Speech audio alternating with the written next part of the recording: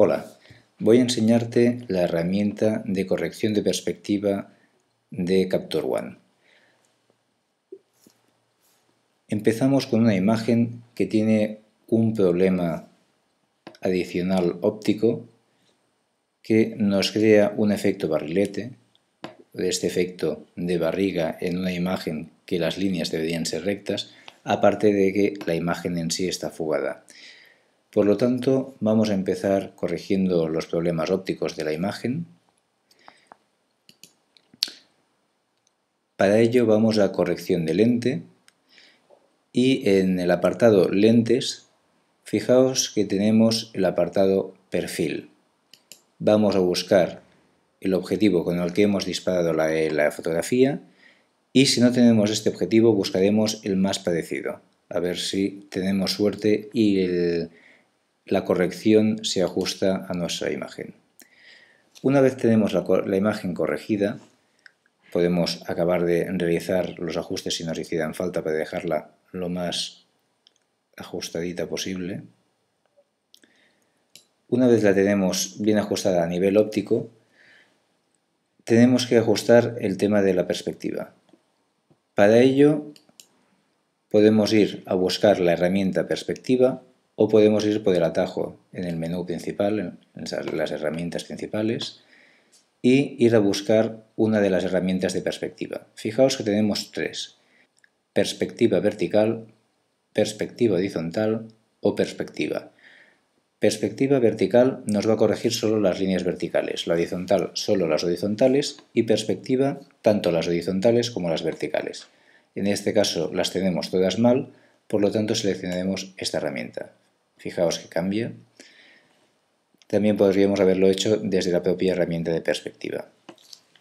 Nos aparece esta cuadrícula. Esta cuadrícula tiene cuatro circulitos en el cual eh, coinciden las líneas horizontales y verticales. Haciendo clic con el ratón podemos desplazar el punto central de las líneas y las vamos corrigiendo una a una las cuatro líneas. Si en lugar de ser un cuadro fuera algún, o una fotografía que queda muy bien delimitado, fuera algún objeto más eh, orgánico o un paisaje, deberíamos buscar lo que son las líneas verticales horizontales o lo que deberían ser las líneas. Aunque no, no existan unas líneas de referencia, hemos de buscar algo que nos sirva para para orientar al programa dónde deben estar las líneas horizontales y verticales. Una vez las tenemos eh, colocadas, fijaos que tenemos un botón en la parte central, le decimos aplicar y automáticamente nos corrige el problema de la perspectiva de la imagen. Una vez la tenemos ya ajustada, si queremos podemos proceder a recortar la imagen. Podemos hacerlo por el exterior,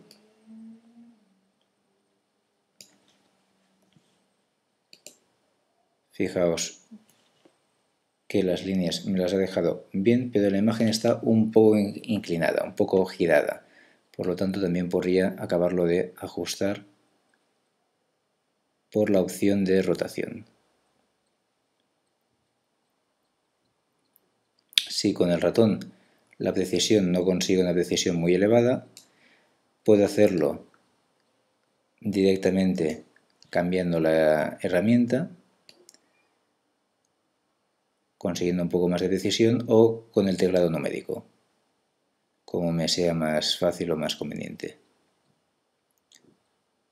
Una vez tenga ajustada la, la imagen, fijaos que me indica el tamaño en principio de la imagen en pulgadas, pero también lo puedo cambiar a píxeles, a milímetros o a centímetros, indicándome el tamaño de la, de la imagen. Si me interesa eliminar el marco, sencillamente vuelvo a seleccionar la herramienta, acabo de ajustarla y ya tengo la imagen recortada y corregida de perspectiva. Espero que os sea de ayuda. Gracias.